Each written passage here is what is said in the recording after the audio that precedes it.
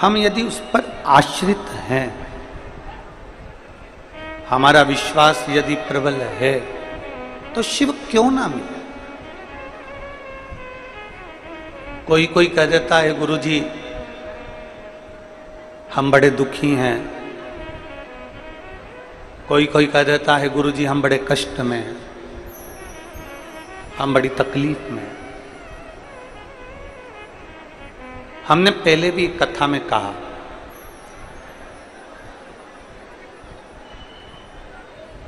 सुख और दुख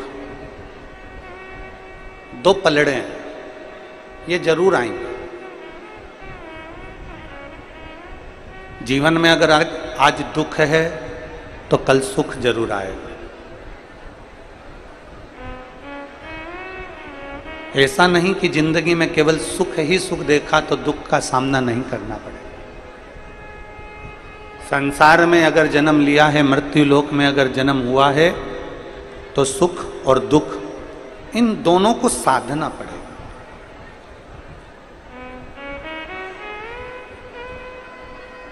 अगर संसार में जन्म लिया है, मृत्यु लोक में अगर हम, आप और हम जन्मे हैं तो सुख और दुख को साधना ये सुख और ये दुख को साधना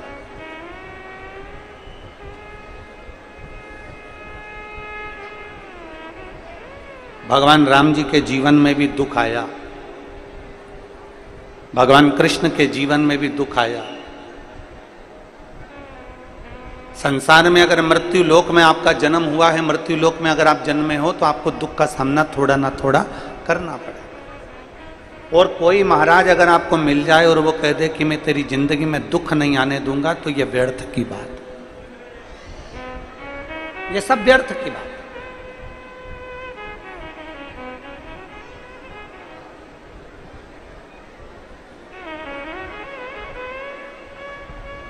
किसी को हाथ दिखाने से अच्छा है, हाथ में एक लोटा जल पकड़ो और शंकर के मंदिर जाना चालू करो तो तुम्हारा दुख अपने आप कट हाथ दिखाने से दुख नहीं कटेगा। और आपका कट गया हो तो वो बात दूसरी हाथ दिखाने से दुख नहीं कटेगा। तो कोई बता दे कि तुम्हारा भाग्य रेखा ये प्रबल है। रोज तुम यूट्यूब पर फेसबुक पे मोबाइल खोल के बैठ जाओ। मैं देखूँ मेरी पर्वत रेखा कौन सी है, गुरु रेखा कौन सी है, कौन सी रेखा कौन सी है। रोज अपना भाग्य की रेखा रोज देख रही और सोच रही मेरा भाग्य की रेखा बड़ी प्रबल है। मेरा गज केसरी योग है। राजा बनने का पूरा चांस है। अब की बार मैं ही राजा बनकर बैठूँगी। अभी की बार मैं ही राजा बनूँगा।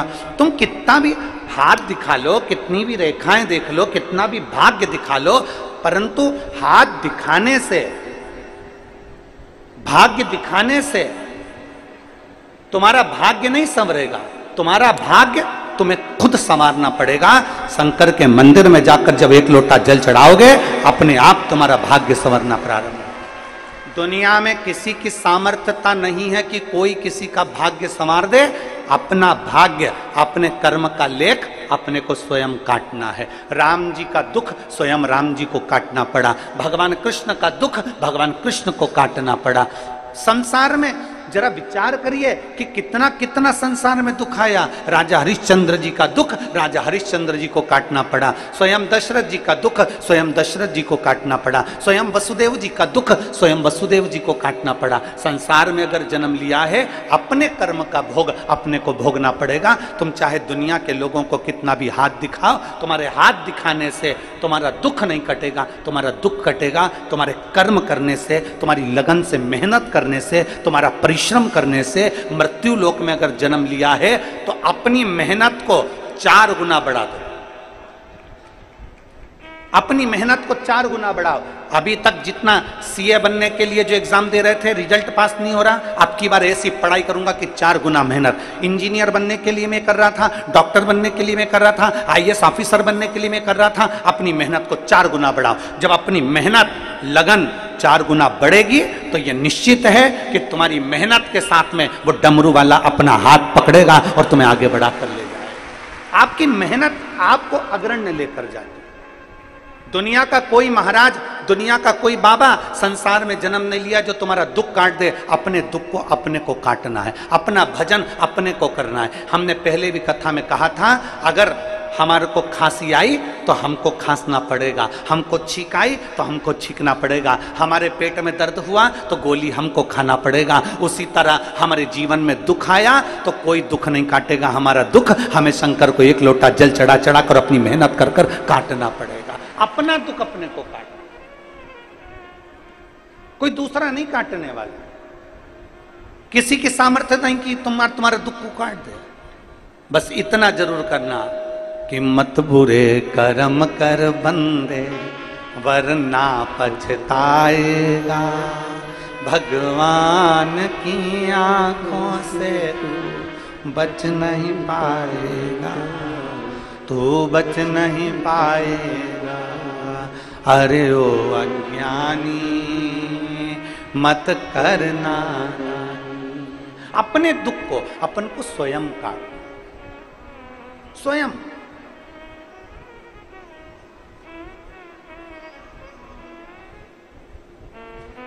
और कैसे नहीं कटता?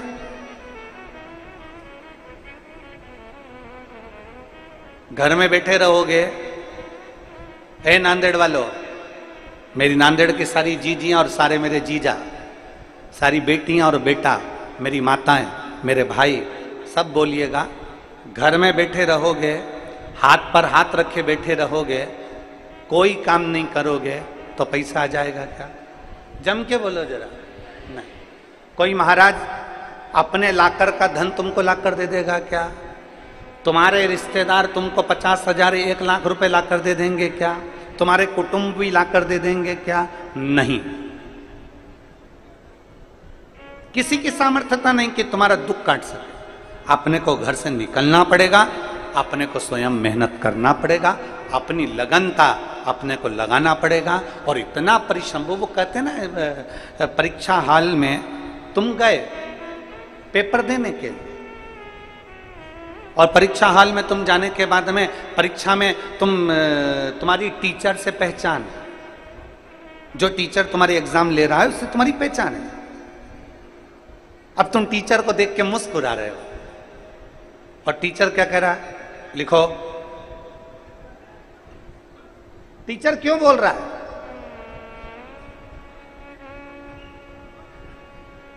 टीचर क्यों बोल रहा है कि लिखो? क्योंकि तेरी कॉपी में तू लिखेगा, कुछ भी लिख पर लिख, कैसा भी लिख पर लिख। लिखना तुझे पड़ेगा, तुझे याद नहीं है तो भी लिख। कॉपी तो भर, कॉपी भरेगा। तो टीचर से अगर पहचान है तो तूने अगर कॉपी भर दी तो कैसे ना कैसे तुझे नंबर दे ही देगा। पर अगर कॉपी नहीं भरेगा, तू अगर लिखेगा ही नहीं तो टीचर नंबर कहाँ से देगा? बोलो सही है कि गलत है? जम के तो बोलो जरा। तुम्हें लिखना पड़ेगा स्वयं। टीचर से कितनी भी पहचान हो, स्कूल में कितनी भी लिख दो। पर लिखो तो तुम तो नांदेड़ का इतिहास लिख दो।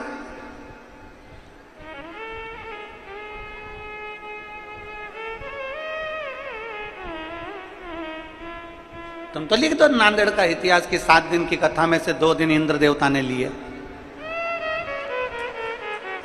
उसमें क्या दिक्कत? पर तुम भी गजब हो रहे।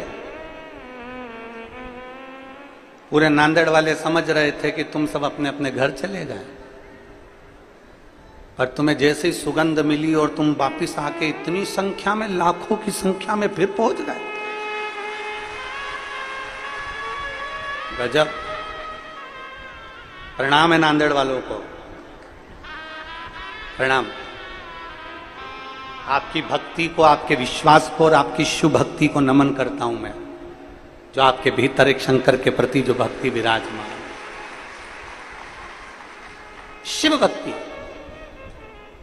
लिखना पड़ेगा तुमको, कॉपी भरना पड़ेगी तुमको, कुछ भी लिखो पर लिखो। और घर के लोग क्या कहते हैं आपसे? एक बेटे से एक माँ, एक बेटे से एक बाप क्या कहता है? कुछ भी कर, पर काम कर। घर से जा, काम कर। तो मैं किसी किराने की दुकान पे काम करूँ, कपड़ा की दुकान पर काम करूँ, पेट्रोल पंप पे काम करूँ मैं यहाँ काम करूँ कि कहाँ तू कुछ भी कर, पर काम कर, काम करेगा तो कुछ तो मिलेगा। शिव महापुराण की कथा कहती है, परीक्षा हाल में हाथ पर हाथ रखकर मत बैठे रहो। कुछ भी लिखो, कॉपी तो भरो, उसी तरह संसार में आए हो। आने के बाद अपना कर्म करते रहो और इन हाथों से दो लोटा जल, एक लोटा जल शिव जी को चढ़ाते रहो, अपना कर्म करते रहो। नंबर वो दे ही देगा। वो नंबर देने में पीछे नहीं हटता। बस अपनी लगन, अपनी मेहनत, आपको करना परीक्षा हॉल में अगर हाथ पर हाथ रखकर बैठ गए, कुछ नहीं लिखा तो नंबर नहीं मिल सकते। नंबर नहीं मिल सकते तो तुम पास नहीं हो सकते। थोड़ी सी मेहनत तुम्हारी है। थोड़ी मेहनत हाथ की, बाकी कृपा भोले नाथ की। थोड़ी मेहनत आपको करना पड़ेगा मेहनत आप। अब सौंप दिया इस जीवन का सब भार तुम्हारे। हे हार तुम्हारे हाथों में और जीत तुम्हारे हाथों एक विश्वास, एक लगन, एक भरोसा।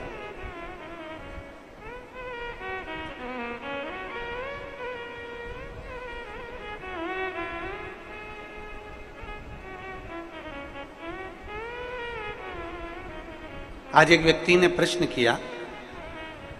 अच्छा प्रश्न था, प्रश्न में कोई गड़बड़ी नहीं थी। गुरु जी भगवान कृष्ण अमेरिका में क्यों पैदा नहीं हुए?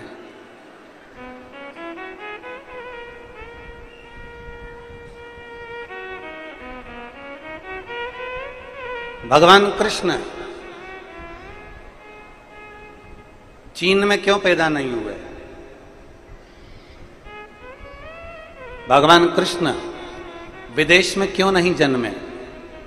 क्यों पैदा नहीं हम उस बेटे से कहना चाहते हैं, हम उस बेटी से कहना चाहते हैं कि तुम्हारा प्रश्न है कि भगवान, अमेरिका में क्यों नहीं जन्मे? भगवान विदेश में क्यों नहीं जन्मे? क्योंकि विदेश में रहने वाले व्यक्ति दिमाग से प्रेम करते हैं। और भारत में रहने वाला व्यक्ति दिल से प्रेम करता है, इसलिए मेरा कृष्ण भारत की भूमि पर जन्म लेता है।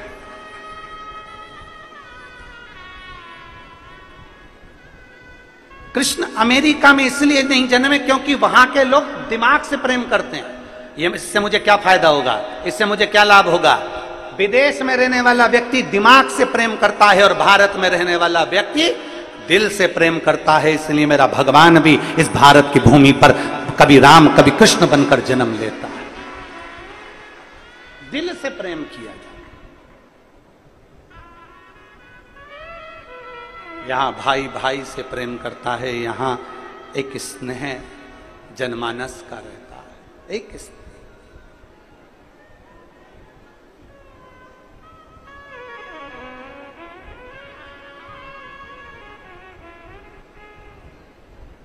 विदेश में शादी भी, वो कहते हैं ना, हमारे एक विदेश में एक लड़का बच्चा उसी स्कूल में पढ़ रहा था, एक भारत का बच्चा, विदेश का बच्चा बोला कि मेरे देश ने कितनी तरक्की करी। विदेश का बच्चा बोला, मेरे देश ने कितनी तरक्की करी, हमारे यहाँ शादी ईमेल से हो जाती है। आज के ज़माने में शादी ऑनलाइन ईमेल से हो जाती है। भारत का बच्चा बोला, तुम्हारा देश कितनी भी तरक्की करा हो और तुम्हारे यहाँ शादी कितनी भी ईमेल से होती हो, पर मेरे भारत में तो शादी आज भी फीमेल से ही होती है। तुम्हारा देश कितनी भी उन्नति करा हो और तुम्हारे यहाँ शादी भले ईमेल से होती हो, पर मेरे देश में, भारत में तो शादी आज भी फीमेल से ही होती है। भारत भारत है।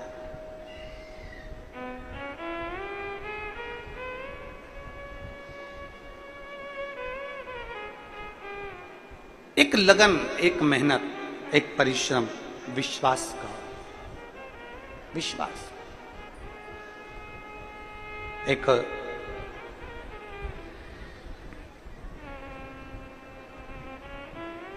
एक बड़ा सुंदर सा चरित्र है, एक मूँगा भगत था।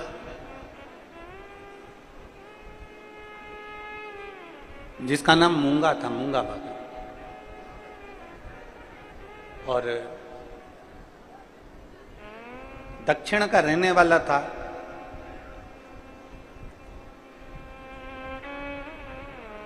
बड़ा सरल था, बड़ा सहज, बड़ा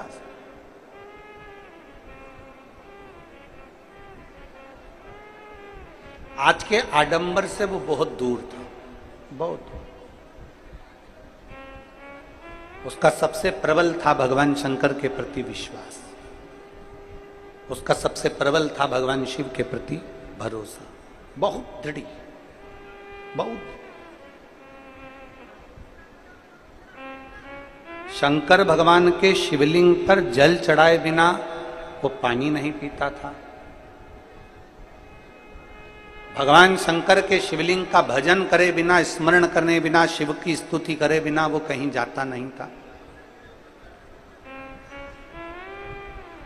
शंकर भगवान की अविरल भक्ति में दिन भर ढूम डूबा रहता दिन भर। और शंभो शरने बड़ी मांगू घड़ी रे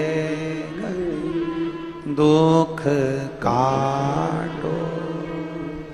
दया करी न दर्शन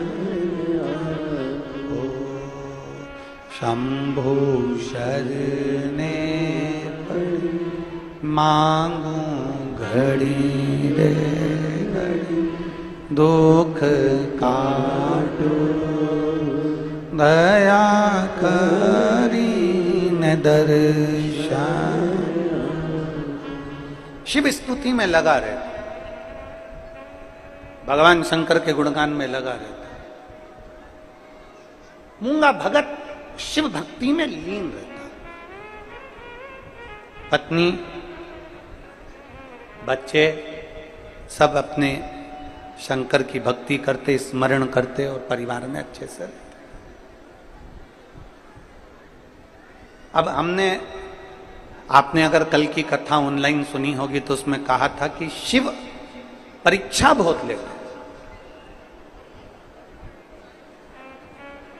किस, किसने सुनी थी कल की कथा? मोबाइल पर आस्था चैनल पर सुनी थी सबने? रखवा हमने उसमें कहा था कि शंकर परीक्षा बहुत लेते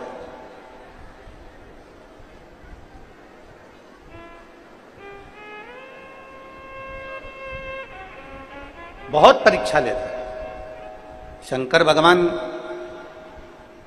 ऐसे ही अपना नहीं बना लेते। शिव के करीब में जाने के लिए शिव जैसा विश्वास, शिव जैसी सामर्थ्यता, शिव जैसी लगन, शिव जैसी श्रद्धा और शिव जैसी भक्ति होना ज़रूरी है। शंकर के करीब में जाने के लिए शिव जैसा अगर विश्वास नहीं है तो शिव के करीब में आप नहीं जा सकते। पहुँच ही नहीं सकते। विश्वास।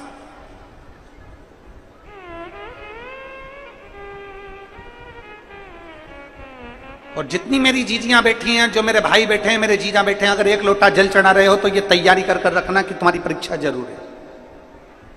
हारना मती ये नहीं कि एक महीना मंदिर चलेगा, दो महीना मंदिर चलेगा, तीन महीना मंदिर चलेगा, चार महीना मंदिर चलेगा, पाँच महीना मंदिर चलेगा, फिर मंदिर नहीं गए। ना, हारना नहीं। एक पत्र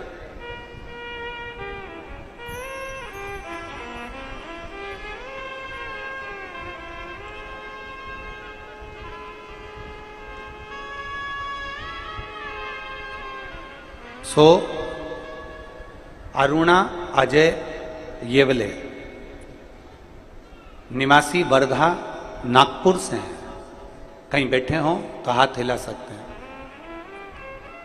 सो, अरुणा, अजय, ये बोले निवासी वर्धा नागपुर के निवासी हैं। कहीं बैठे हैं क्या? हाँ ठीक है, दिख गए। हाथ हिला दो। बच्चे आए हैं क्या साथ में? बच्चे लोग आए हैं क्या साथ में? अगर आए हों तो यहाँ व्यासपीठ पे ले आओ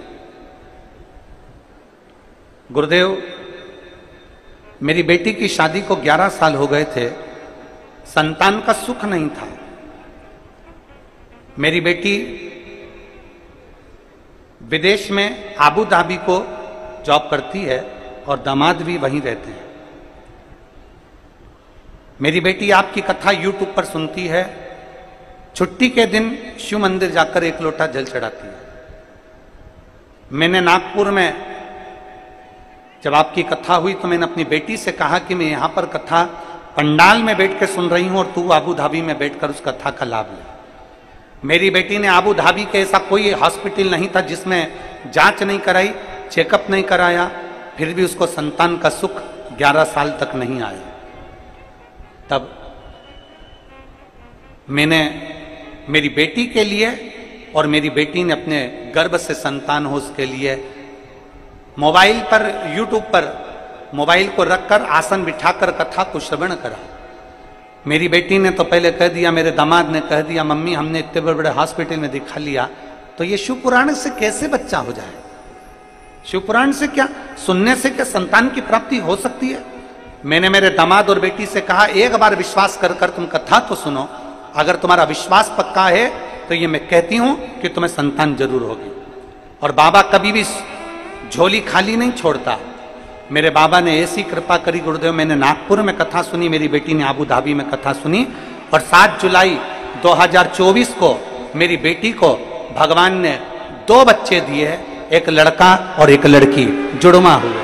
मैं बाबा को धन्यवाद देने के लिए यहाँ आई मैं बाबा को क्या वर्णन करूँ, गुरुदेव?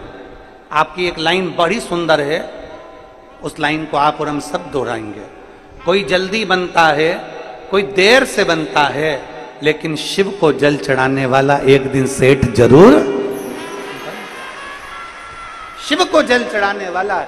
मैंने अपनी बेटी के दोनों बच्चों का फ़ोटो लगाया है, गुरुदेव। आप लोग भी एलईडी पर, आस्था चैनल पर, वो दोनों बच्चों के फ़ोटो और उसकी मम्मी बच्चों को लेकर बैठी आबू धाबी में, उसका अगर विश्वास पक्का है, अगर भरोसा पक्का है, भरोसा निश्चित है, दृढ़ है, और भरोसा यदि प्रबल है तो शिव क्यों ना मिले? शंकर कैसे ना मिले? एक विश्वास अपने भीतर प्रकट करिए और यहाँ जितनी संख्या में आप लोग कथा श्रवण करने के लिए आए हैं, पंडालों में भले जगह नहीं हो, आप लोग पंडाल के बाहर अपना अपना छाता लगाकर अपना अपना आसन बिछाकर, पन्नी बिछाकर, जो भी बिछाकर आप लोग बैठे हुए हो, एक विश्वास मानकर कथा सुनना कि अगर दिल से ठीक है, दो दिन की कथा अगर निकल भी गई तो कोई दिक्कत नहीं। कहते हैं कि पीछे के दिनों में जब मेहमान जाते हैं तो कुछ ना कुछ बच्चों को देकर जाते हैं तो मेरा बाबा तुमको भी देकर ज़रूर जाए। एक विश्वास, एक भरोसा, एक दृढ़ता अपने भीतर धारण कर कर कथा का रिस्पान करिए और अपने जीवन को सार्थक बनाइए। प्रयास करो। हम उस शंकर की भक्ति में डूबे। भरोसा आपको करना विश्वास आपको रखना दृढ़ता आपको रखना और बिना भरोसे के, बिना विश्वास के परमात्मा कैसे मिल सकते कैसे मैंने तेरे ही भरोसे, बाबा तेरे ही भरोसे हवा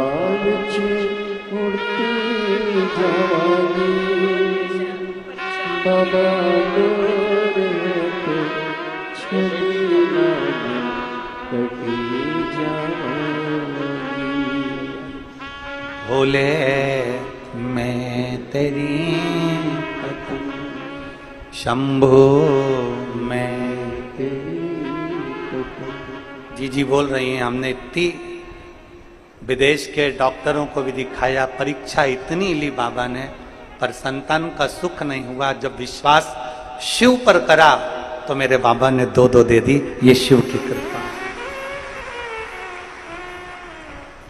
शिव करुणा सागर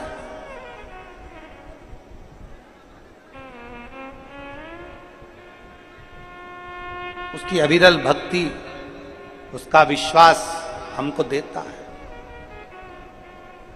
दक्षिण में रहने वाला वो मूँगा भगत शिव की भक्ति में डूबा रहता और उसका एक विश्वास था, शंकर को जल चढ़ाए बिना पानी नहीं पीता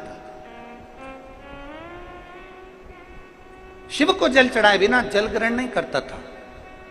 जैसे अर्जुन, जैसे युधिष्ठिर, अर्जुन और युधिष्ठिर का भी नियम था कि शंकर को जब तक जल ना चढ़ जाए, तब तक जल ग्रहण नहीं करते थे।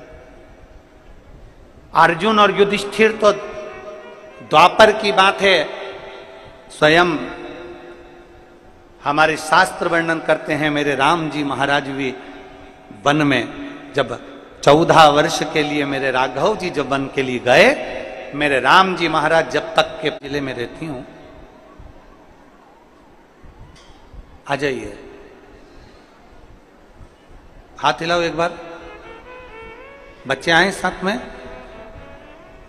आ जाओ, एक बेलपत्र ले जाना जाएगी गुरुदेव,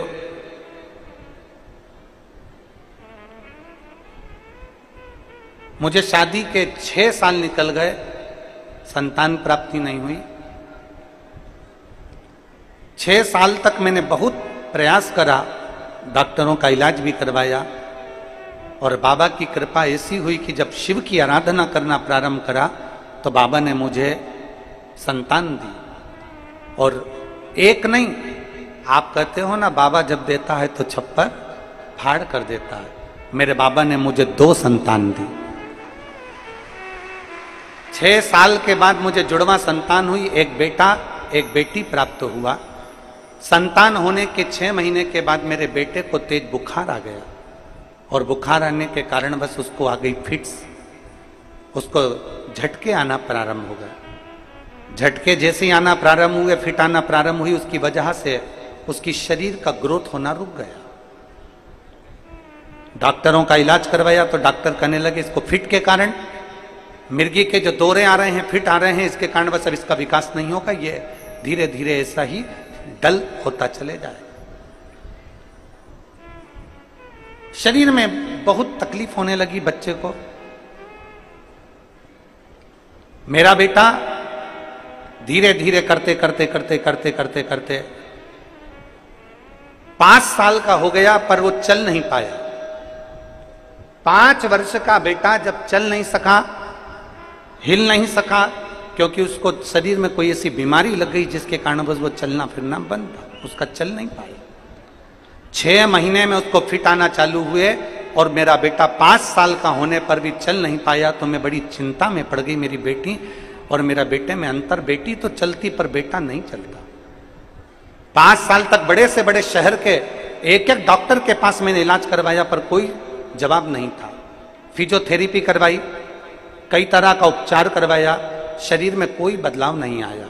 तब बाबा के भरोसे पर मुझे संतान हुई तो मैंने बाबा पर ही छोड़ दिया और मेरी जेठानी के कहने पर मैंने शंकर भगवान का जल लाकर अपने बेटे के शरीर को लगाना प्रारंभ करा।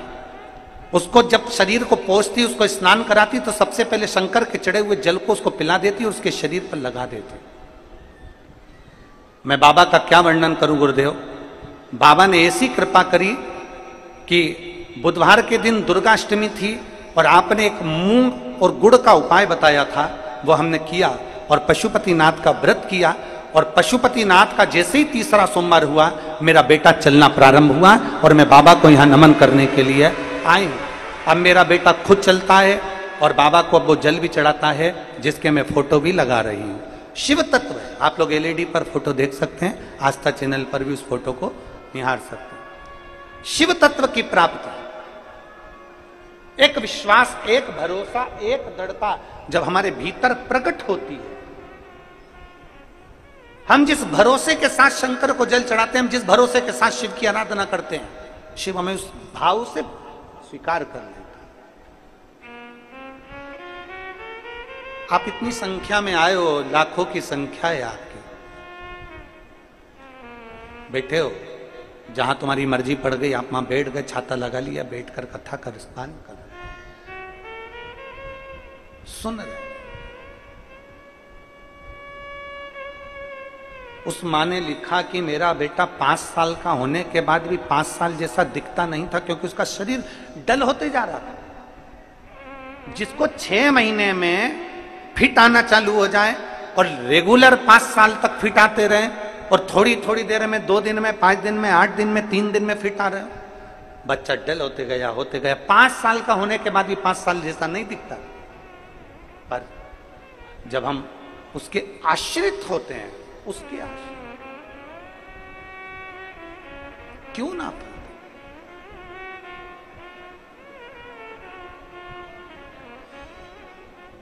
बहुत विश्वास के साथ में कथा को अगर सुनते हैं, ये वो बहन ने लिखा, नागपुर वाली ने, वर्धा वाली ने, कि हमने तो टीवी के सामने मेरी बेटी ने केवल मोबाइल रखा, आसन लगाया। आबू धाबी में उसका पति उससे कह रहा है कि ऐसा होता है क्या?